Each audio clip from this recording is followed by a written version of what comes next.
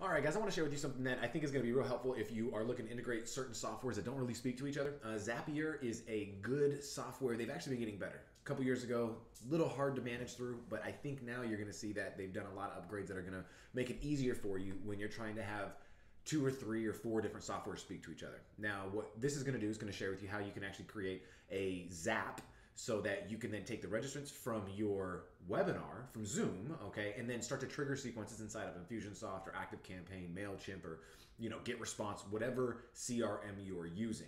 Now, you know the benefit of that if you've been watching any kind of our training, you're going to see that it's real important to be able to send behaviorally dynamic follow ups based on what people do and don't do. So, if you know that somebody's going to register and you know that you can't you know, what kind of fun would it be to have to manually import everybody that registered every day to your CRM, you know, to your follow up so that it actually triggered email sequences. That wouldn't be fun, right? And if you were doing webinars every other day or automated webinars, it would literally be impossible. So for this case, what you could do is just go to Zapier or Zapier whatever.com and you're to want to create a Zap. Now you're to see I have two of them here. I have number one and then R-2.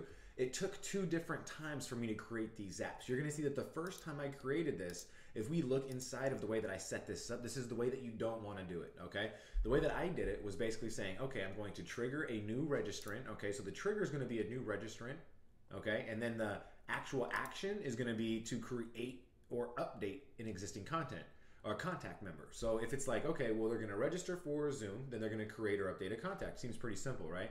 Well, this did not work. Okay, this did not work. So what I want to share with you is the way that it did work. The way that you want to set it up is going to be like this.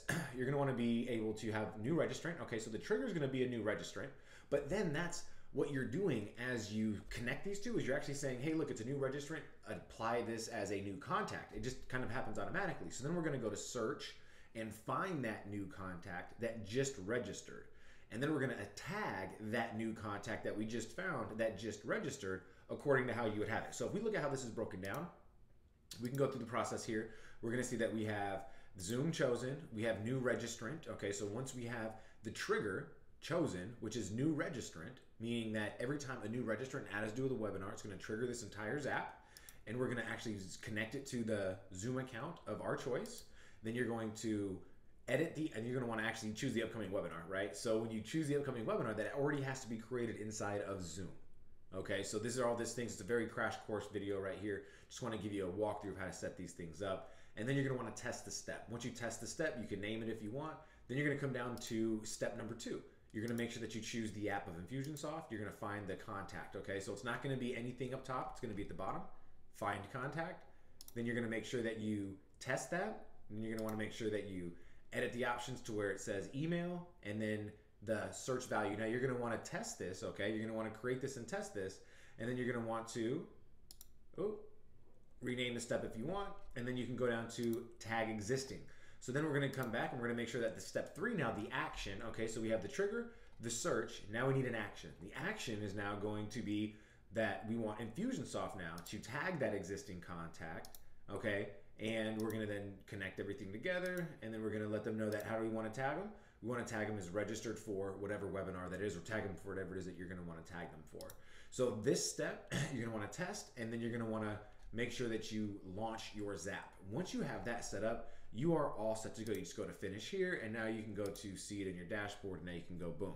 So when you're thinking about how can I take these, you know, registrants? Do I have to have this specific software where I already purchased you know an annual license for this particular platform whatever your case is. I like zoom just because it's very simple to use and it does landing pages actually convert very well. So what i do is i run traffic you know directly to a landing page from zoom. I have no problem with that. And what i'm going to do then is have that now zapped to Infusionsoft so it could trigger the email sequences. So hopefully you found this training real quick, this quick training, real big overview, kind of helpful for you. Go ahead and start to get started on this and make sure that if you got any questions, leave them in the comments below.